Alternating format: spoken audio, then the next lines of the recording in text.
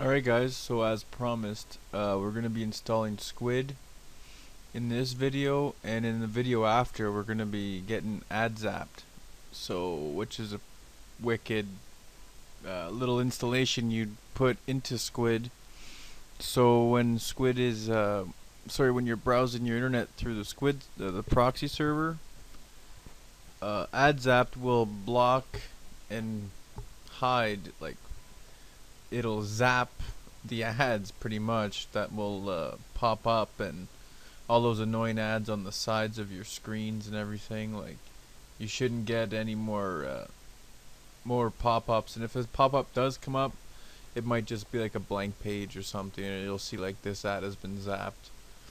So it, it's very safe browsing and you're gonna see with squid your browsing is gonna be a lot faster too because it caches your websites. So like the more times you go to like Facebook, Google, you know, all of your main sites, you, they're just gonna load like instantly. So if you have like dial-up and stuff, this is good too. You'll see an improvement, in, especially for that. So just to show you that everything works here, my Internet Explorer is on. Okay, I can browse. All right. Uh, Google Chrome. Same thing.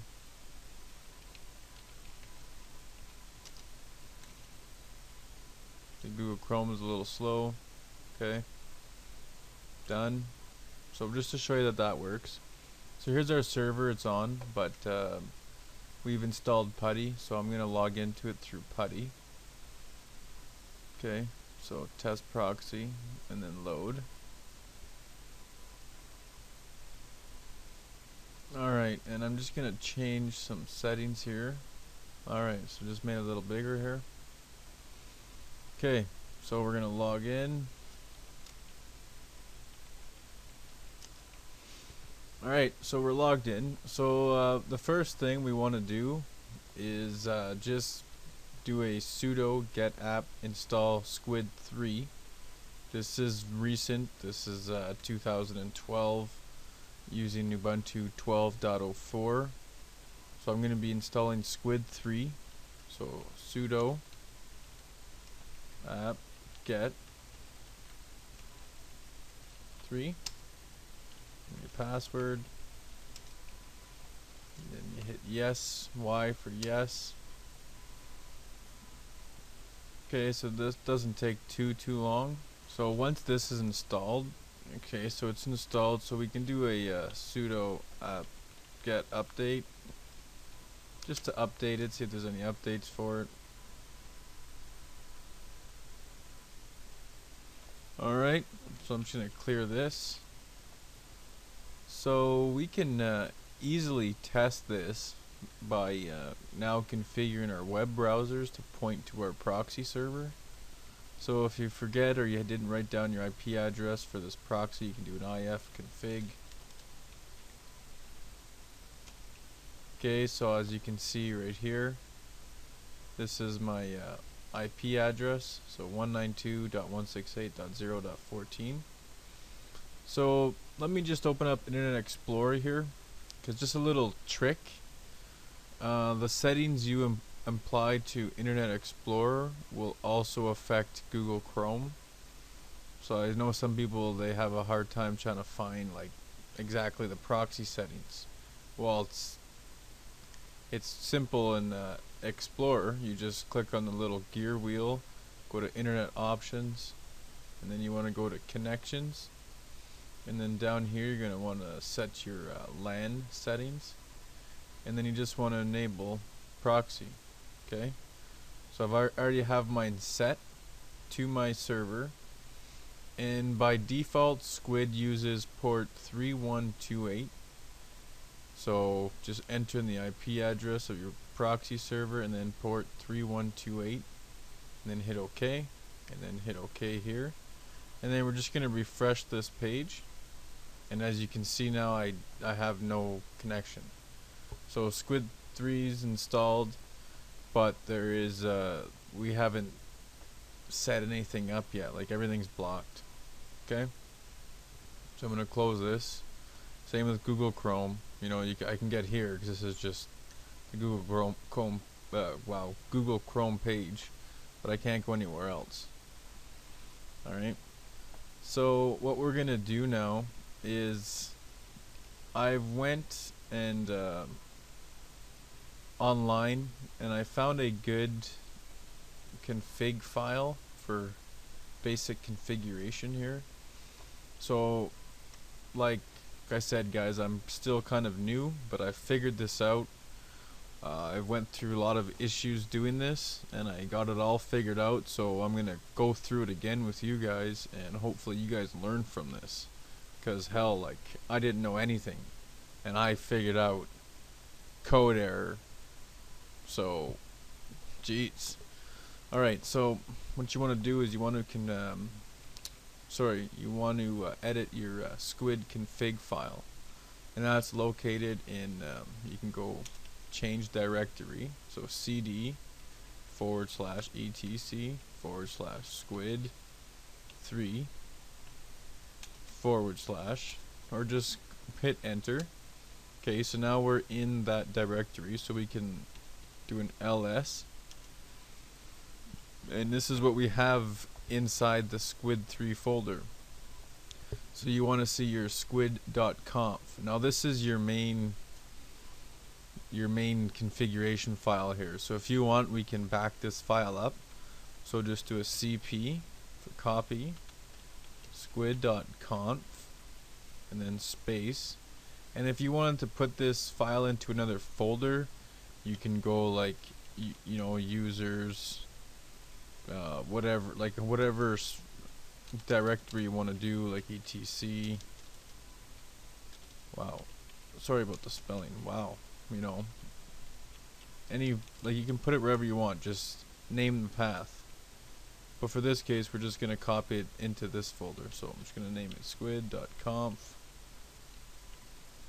and original and then hit enter. Oh, sorry. Gotta hit a sudo. Okay, so now we do ls and we now can see our copied file here. Alright. So now we want to uh, configure, um, edit our squid file. So sudo, and I use nano as a uh, config, as a text editor. Squid.conf, okay, and this is it. Now this is gonna take a while and it might scare a lot of people, but I'm gonna cut the bullshit here, and I'm totally gonna just delete this whole file here. So I'm to put this on pause because this does take a few minutes. So what you want to do is just go, uh, you want to hit Control K and you're just to start deleting this. And if you guys haven't seen this file, there's over 5,000 lines of code here. So yeah, give me a minute and we are to build this from scratch. Well, I lie. We're to copy and paste it from someone else who's built it. But I've tested it and it's good.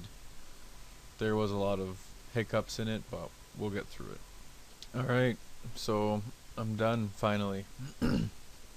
if uh, someone knows a faster way for me to do that, please leave a comment because that took like five minutes of just deleting lines.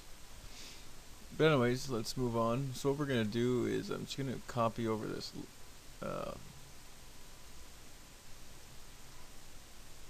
there, whoops. Sorry about that. Okay, so I just copied over the uh, config file here. So if you hold shift and hit page up, or sorry, just page up, you can uh, scroll the, the file here. So I'm at the top of the file and I only got that left. So what you want to do is go through it. Okay, so this is the uh, ACL, is the access control list. And if you look kind of closely down here, you know, we can clean this up a bit. So, put all the uh, accesses uh, together and stuff. It doesn't really matter how this is spaced out but it does matter what uh, order they're in. like especially uh, these here, the access, HTTP access.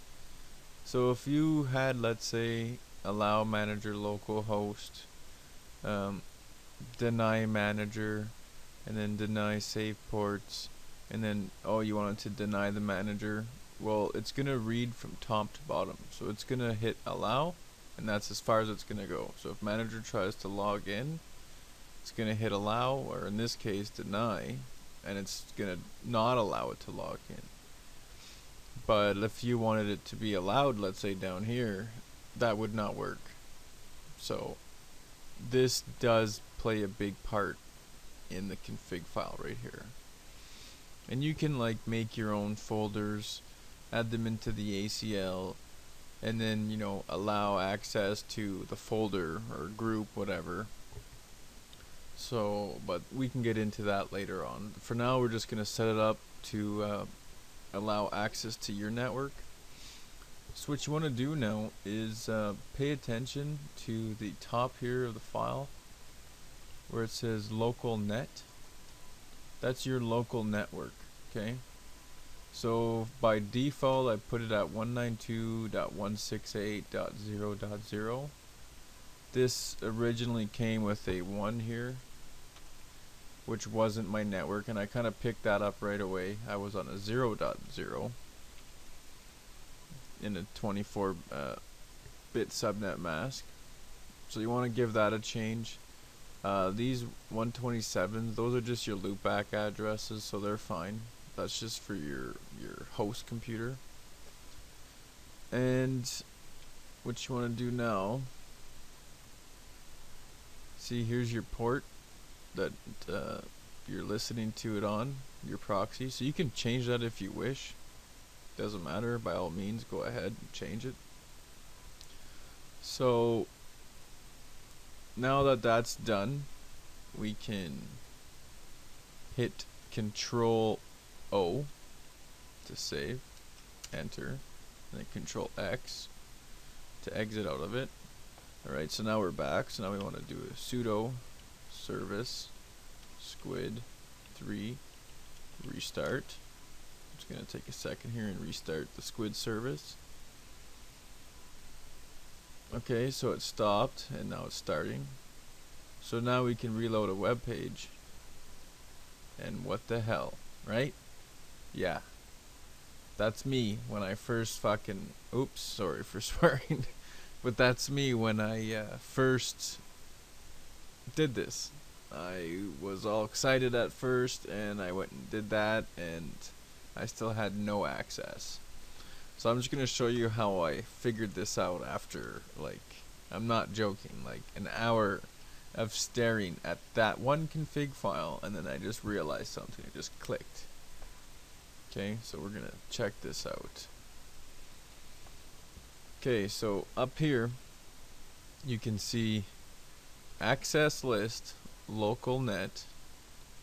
Okay so the access list for local net is searching 192.168.0.0 and then to local host which is my computer that I'm using. That's just my those are just my uh, loopback addresses. And down here you got your safe ports. See that? Safe ports. And then it lists all the ports.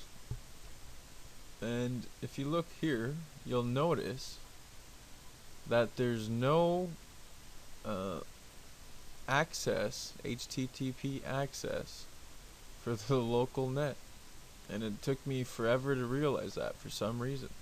I got two local hosts which would be my computer that I'm using but I need it for my whole network. Because the computer I'm using doesn't have a goddamn screen. It's just code. So it doesn't make a difference to me. So I need my Windows computer back here to allow to have access through my proxy, which is why this is a perfect test environment. Okay, so what you want to do is you can throw it up here, right underneath localhost here. Just hit uh, enter for space and go HTTP access allow uh, local net Okay, that's it. And then you want to hit Control 0 to save it, Control X to exit, and then you want to hit your uh, sudo service restart. Alright, it's to restart now. Okay, you guys see that? It's running. And now, well, bam, we got it. So it's working. Facebook, you know, uh, I don't know, YouTube.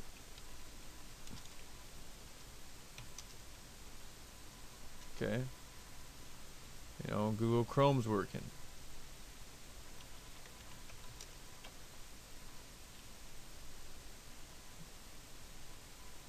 Just resolving the proxy there. Okay, so there we go. Facebook. It's all good to go now, alright? So now if you want to like check some access logs, let's say. Let me just clear this. This is a good little thing because then you can uh, like kind of see what's going on on your network. So this is why it's good for you know either parents if you really want to get involved and go deep on your kids surfing. You can use this and you'll have everything. But this would be more used in a business network where you're trying to control access to, to networks and or sorry internet use.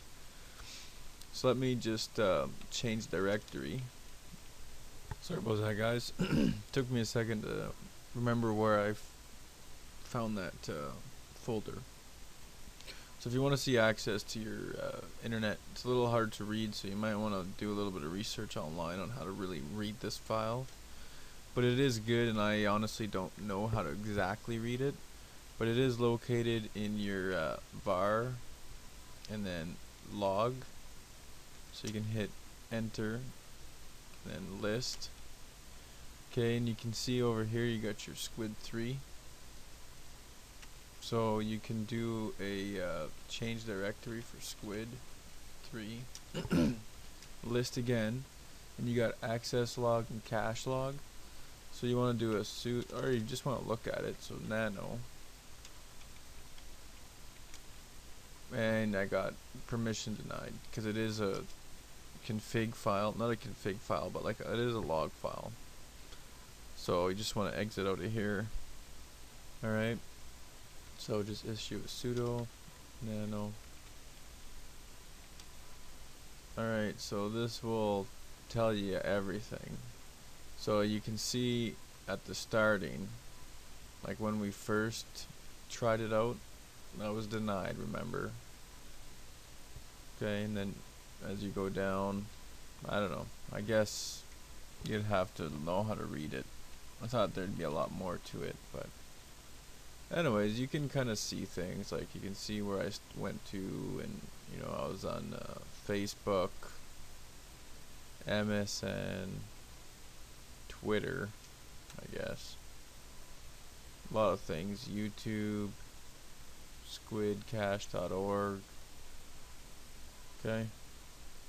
But it's just a good file. You can get used to that. So, so you can check that out. And uh, you can probably also go check out your cache. Which is, uh, okay. This is another good thing to read too these files here will like just log information about your squid server so if you have to troubleshoot it these two are good files to know about.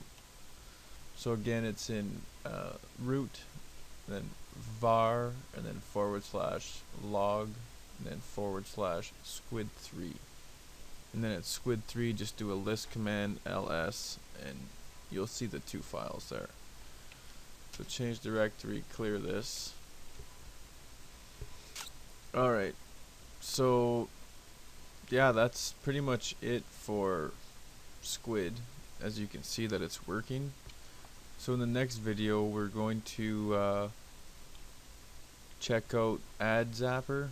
It's an awesome program, and uh, you guys are really gonna like this. Again, it took me a while to get this thing working, but you know, I figured it out, and I'm not gonna post something that I wasn't sure of.